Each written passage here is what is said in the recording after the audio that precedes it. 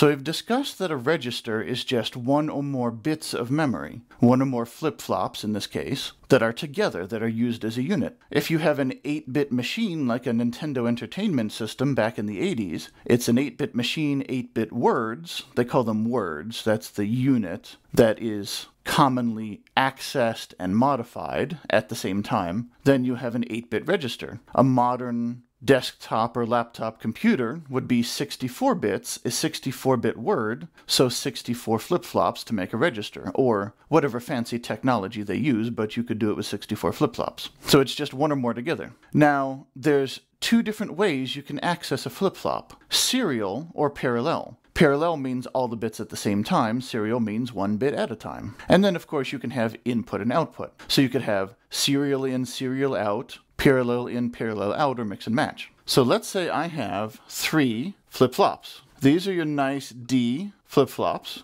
D1, D2, and D3 are the inputs. Q1, Q2, and Q3 are the outputs, and then they have their write signal. There's no read signal because it's just connect to the output. So glossing over parallel, it's very simple. Parallel input is you have a wire going to each of the inputs. That's it. Parallel output is you have a wire going to each of the outputs. That's it. It's just you're reading and writing all at the same time. There's nothing fancy, and we're done. So anytime you have anything serial, you can just have parallel at the same time. It's just connect a wire. Congratulations, it's parallel. The interesting part is the serial. So Obviously, one way you could do one bit at a time is to have some sort of multiplexer where you have a bit that's your input or output, and then you have another specifier that says, okay, I want to write into this flip-flop, or this one, or this one. And that would work fine, but it would be a horrendous amount of unnecessary wiring. Instead, we're just going to tie these together. And this entire register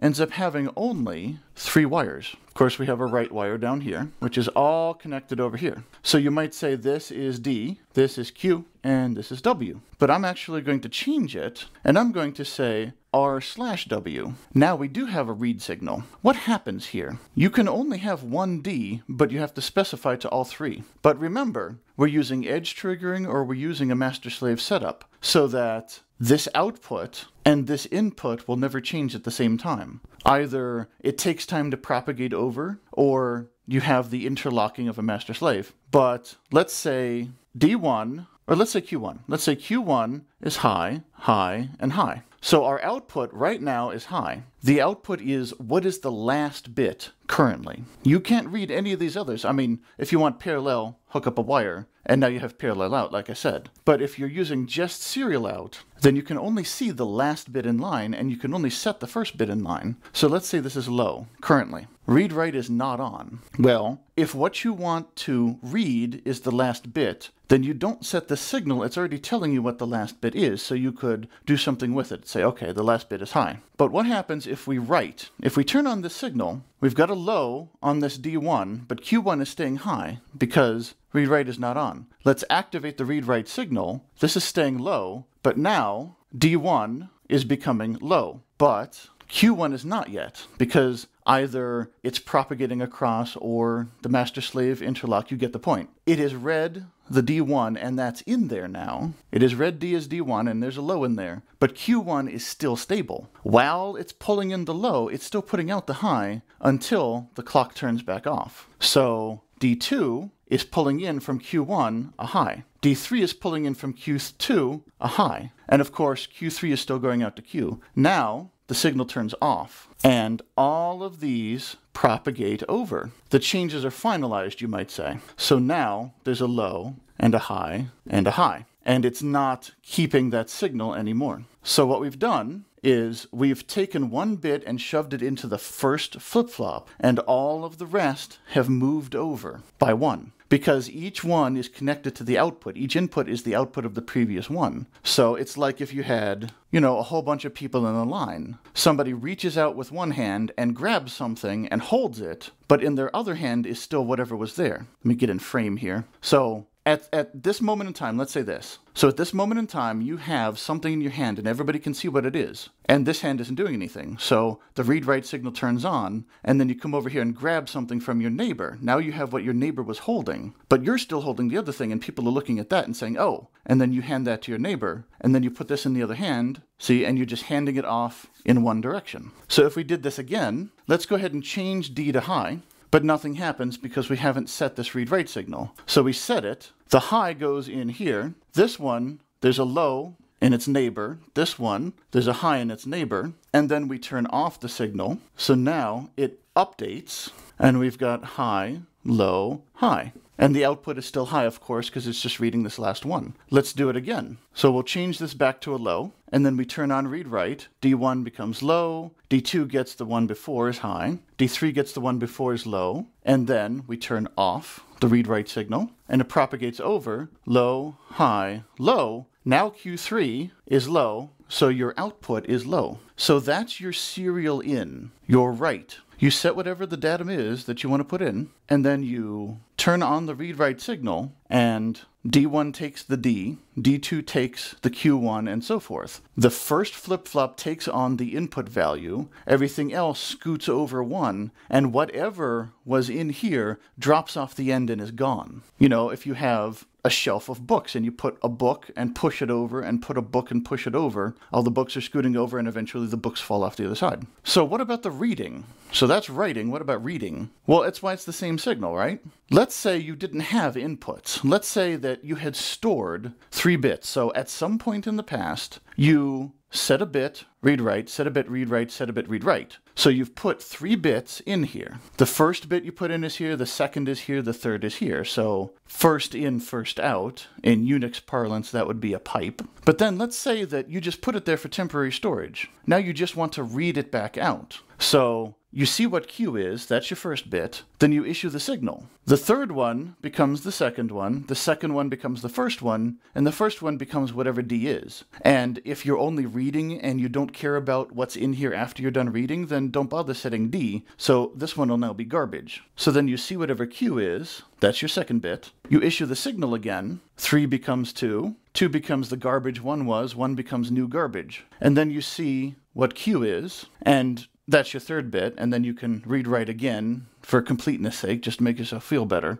And now all three will be garbage. That's what's called a destructive readout. So that's why it's both a read and a write signal. You might call it an advance signal, but I think read write is just more logical. It's read write advance. So when you give the signal, it reads the input, it sets the output, shifts everything over. The one signal does all those things, and it's just what you do with the voltages that matters. So there's multiple reasons to do something like this. Obviously, it takes a lot longer. It takes some processing circuitry and many clock cycles. And you're saying, why don't we just hook up a bunch of wires? Well, eventually you run out of wires. Think about your Arduino or whatever. Your microcontroller has a certain number of pins. When you run out of pins, you're done. So you'll do things like shift registers that allow you to fan out or fan in. Let's say, for example, you have a video game controller. So here is your video game controller. Got your little squiggly wire, and the wire goes into your console, and here you have a shift register. Let's say it's parallel in, serial out. So you've got a bunch of wires connecting to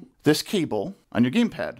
Or you're probably going to have this shift register in the gamepad itself because you're not going to want to run this many wires out the cable. Yeah, let me update it. Let's do this more like you'd actually have. So you have your much bigger game controller now with your cable going to your computer. And inside here is a shift register. On the one end, you have a bunch of wires, a trace is on a PCB, that connect parallel in. And then you have your write signal, let's say W for that. So this would be connected to all of the flip-flops internally. So, you know, once every 60th of a second, for example, a signal would come in from the computer to say, okay, I'm starting to read the controller now. So the signal comes in, it triggers on this, and all of the pins lock on whether each button is up or down. And then the signal turns off and now they're flip-flops so you can keep pressing buttons, you know, if you're bouncing or whatever, but it's going to have one value or another. So for the next 60th of a second or when the next pulse comes in, the flip-flops are all going to have the same value. But now let's say you have your serial out and you have a read pin. So the serial out comes down through here, just like the write did. So there's the write, there's the read, and however many pins, you know, two to get a voltage, whatever. But your computer, which is only connected to this controller, let's say by USB or by a custom controller, there's only so many pins you can have on it. And these are connected to a microcontroller in your video game system, for example, and you have only so many pins, so you want to use as few pins as possible. So you have your pins for positive and negative power, and then you have your read and write pins and a data pin. So the data pin would be showing you whatever the result of this last bit is, whatever this last flip-flop in line is. So your game system knows what button that corresponds to, so it makes a note or processes or whatever that value, and then it issues the R signal, the read signal, which is different from the write signal. They're both hooked up together, but one is hooked up to all of them and the other one is, you know, shift over. One is the parallel in, one is the serial out. So the write is connected to all the pins together and makes them all go together. And read is the one that makes them shift to each other's,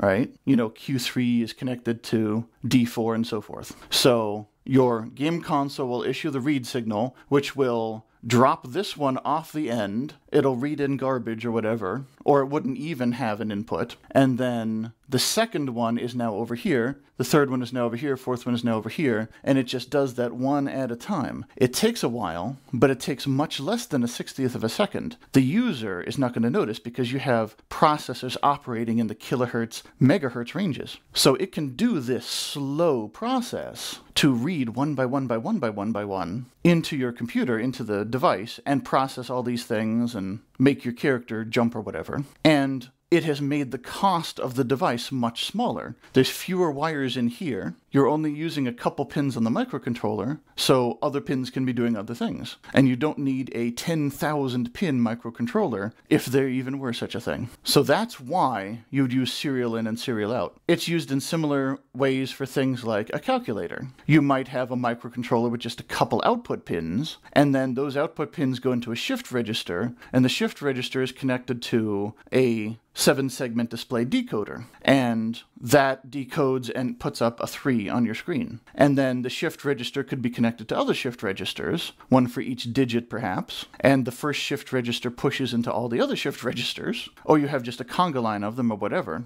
So your microcontroller, an expensive thing, relatively speaking, is only going to be having to use a couple pins.